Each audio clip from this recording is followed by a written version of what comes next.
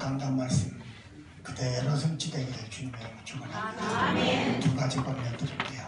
첫 번째는 기도가 살아야 됩니다. 강단 말씀 그대로 성취되기 위해서는 기도가 살아있어야 돼요. 만약에 이 성전을 기도로 다 채울 수 있죠.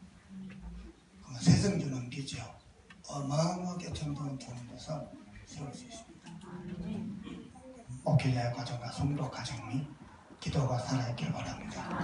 두 번째입니다. 기도가 살아있으면은 다락봉 정도가 정말로 성경적 정도라는 모델적인 증거가 나타납니다. 그래서 전도운동의 모델되기를 주님의 이름으로